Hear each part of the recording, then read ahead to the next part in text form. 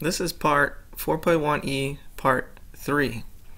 For this 3D model, I'm going to only use additive in order to create this part. There will be a couple of times where I might use subtractive, but I'm going to try to mainly do additive solid modeling so that you can understand and see how that works. So let's look at this part. It is 3.5 inches long, all dimensions are in inches, and if I were to add these dimensions here 0.5 plus 1.5 plus 0.5 I would get 2.5 wide. So I can make a bottom base as 3.5 by 2.5 and extrude it 1 so in Autodesk Inventor clicking on new part and clicking on start a 2D sketch. I'm going to click on the XZ plane sketch plane because I want to rise up and click on rectangle. So it's going to be 2.5 by 3. Double click uh, the escape button, so 3.5 by 2.5. Oops, I didn't make the right dimension, so I can double click on that dimension, change it to 3.5, finish sketch. Let's click on that home button again. Uh, let's make sure on our tools, document settings, we're in the inches and we are. Alright 3D model extrude. That extrusion is up one. It's defaulted to one so I'm gonna click on the OK. So now I have this bottom section and I'm going to add this top part. So this is one inch wide. So I'm going to right click new sketch Click on the rectangle tool, make sure I snap into the corner. Make sure I snap to the right side. And make this one inch, one inch wide. Click on finish sketch.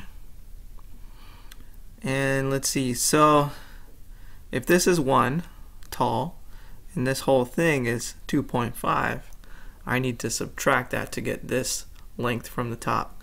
So that's going to be 1.5. So my extrusion for this is 1.5. Alright, so that's how additive subtracting would look for this part.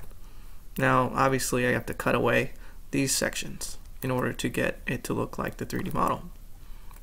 So I'm going to draw on the top surface and dimension and extrude cut. So right click new sketch on the top. I'm going to draw another rectangle and let's see, they're 0.5 from each edge. So dimension from this edge to this edge, 0.5, enter, and do the same here.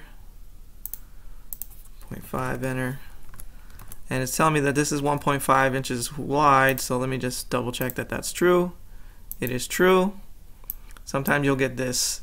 Adding the dimension will over constrain the sketch. Um, you can accept or just cancel. Finish sketch. It is 0.5 cut. Extrude. Click on the cut. Make the distance 0.5. Click on that surface. Click to check, press enter, or click OK.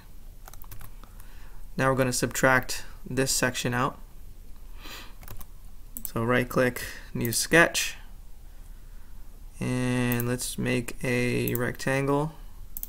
And this time I'm not going to dimension it when I draw it, I'm going to dimension it after. So I know it's 1.5 long. So click on dimension, click on this bottom line, click on this top line, make that 1.5. It's 0.5 wide. So right, uh, click on that, click on that, type 0.5, enter. And it is one inch away from that left edge. So click on that left edge, click on that, one, enter. And now that's dimensioned. Finish sketch and click on extrude. This time I'm going to cut all, click on that surface, and click OK. And our part is complete. Click on the Save button. This is 4.1e, part 3. Make sure you put your name. Save your work. Don't forget to screenshot it. If you haven't seen the screenshot video, watch that should be sent either through email, Google Drive, or uh, Google Classroom.